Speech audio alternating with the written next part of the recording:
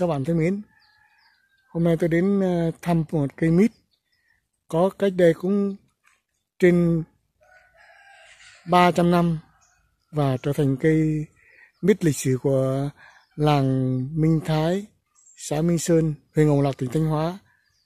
Mời các bạn chúng ta cùng ngắm xem cây mít nó to cỡ nào và đẹp như thế nào.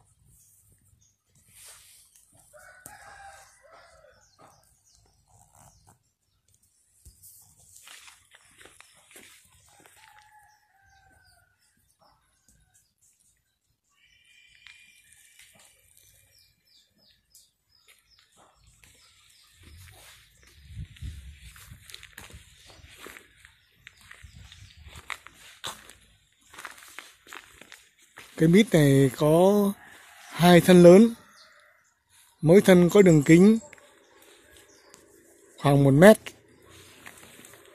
Và trông nó rất là xù xì, rất là cổ kính.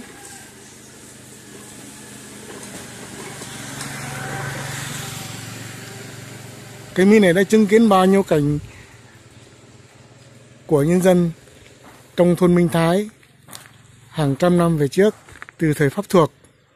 Và cho đến hiện nay nó là một trong những cây chứng kiến rất nhiều cái di tích lịch sử. Và theo tôi nghĩ thì cây này phải đưa vào cái danh sách là cây di sản của xã Minh Sơn. Bởi thế cho nên là khu này người ta đã có một cái đền thờ nhỏ, cái miếu nhỏ để người ta thờ.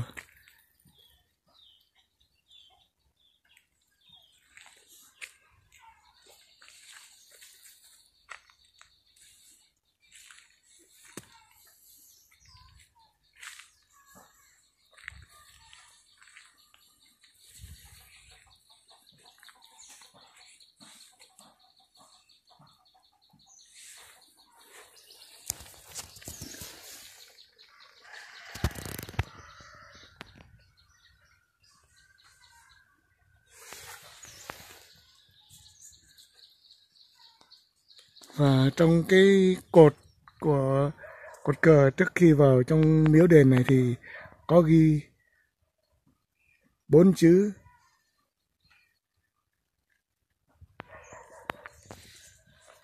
Đàm chiêm cung tiến.